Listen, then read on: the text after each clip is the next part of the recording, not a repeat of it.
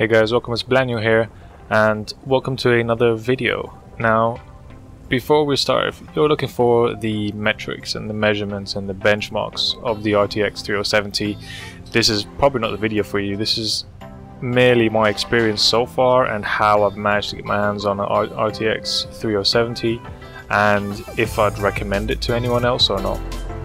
To start with, the first game I tested was GTA and I maxed out the settings, put on everything I can put on it and it runs absolutely fine.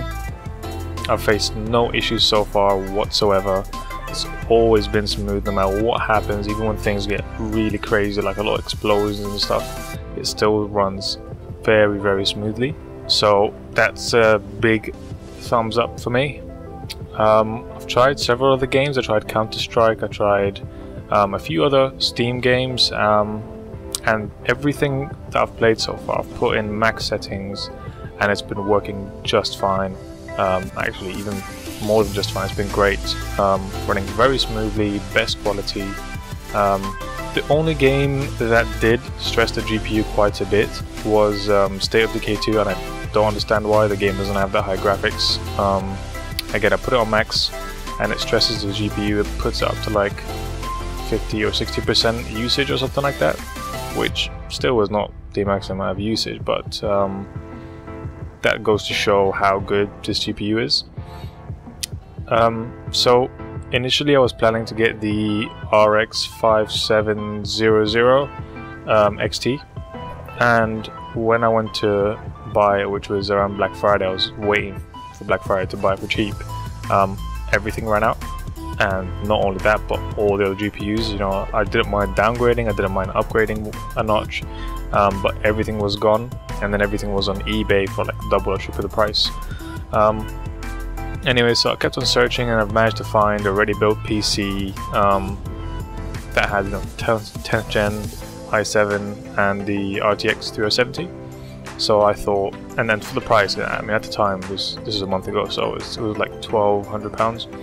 Um, which is pretty good considering you know you can't get G you can you basically couldn't get a GPU at the time. Um, and for me, it was worth it because I really wanted a game PC. Know, I never, I never had one. It was my first one, um, so I went for it. The big question is, would I recommend it? Is it worth it? So I've literally put everything I can into it in terms of gaming. Um, and I do a bit, bit of video editing, and even with that, in terms of rendering speeds, it's really, really fast. So I would definitely recommend it to anyone who, if it's, if it's, your, if it's your first PC or if it's an upgrade from an old version, then it's definitely worth it. Um, it might not be worth it if you're upgrading from, let's say, a RTX um, 2080 Ti, because the difference is not that big. It doesn't justify the price. Um, but if you're if you have an older version GPU, it's definitely worth it. Um, as I said, so far everything in terms of editing, rendering, gaming that I throw at it, it takes very, very easily and smoothly. And it doesn't even, I've, I've, I haven't even maxed out its usage yet. So that's my review so far. Um, I mean, I've only had it for a month. Um, if anything does happen to it, then I would obviously um, put a follow-up. But so far, this GPU is the RTX 3070 is amazing and does everything you'll need it covers everything you'll ever need. Um, now, I guess obviously if you're playing in 8K all the time and doing everything in 8K, then maybe you put a strain on it. But that's for extremely high end. Um, for typical gamer, typical video editor, this is more than enough and it does the job really, really well. So I'll definitely recommend it. So that's it for my review, guys. Um, I'll see you guys in the next video. Thank you.